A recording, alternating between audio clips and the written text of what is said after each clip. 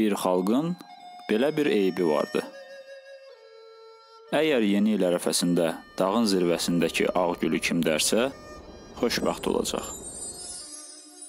Bu dağ hansı ki xoşbəxtlik gülü bitirdi, cadugar tərəfindən ovsunlanmışdı. Bu dağ həmişə sirkələndiyindən heç kəs ora dırmana bilmirdi. Amma hər il bu zirvəyə qalxmaq istəyən cəsurlar peyda olurdu. Bir dəfə üç dost öz xoşbəxtliyini sınamaq qərarına gəldilər. Amma onlar getməzdən əvvəl məsləhət üçün bir müdrikin yanına gəldilər. Müdrik onlara belə məsləhət verdi. 7 dəfə yıxılsan, 8 dəfə qalx.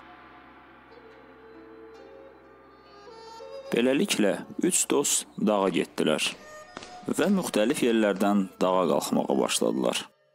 Bir saatdan sonra birinci gənc qayıtdı. Onun bədəni yıxılmaqdan gömgöy idi. Ey müdrik, siz dediyiniz düz deyil.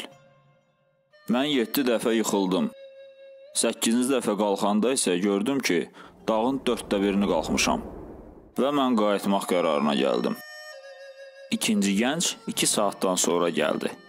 Üst başı pis vəziyyətdə və yorğun halda dedi: Müdrik bizi allatdı. Mən 7 dəfə yıxıldım. 8-ci dəfə qalxanda isə gördüm ki, dağın 4də 2-sini keçmişəm.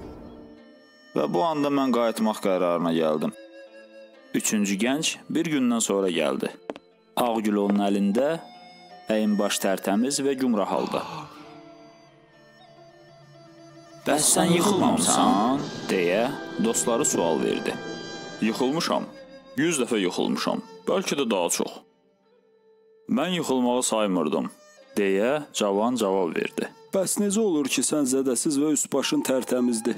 deyə dostlar təəccübləndilər. Dağa getməzdən əvvəl mən yıxılmağı öyrəndim. deyə cavan gülümsədi. Bu insan yıxılmağı yox, qalxmağı öyrəndi. Deməli həyatda o istədiyi məqsədə çatacaq. deyə müdrik cavan haqqda fikrini bildirdi.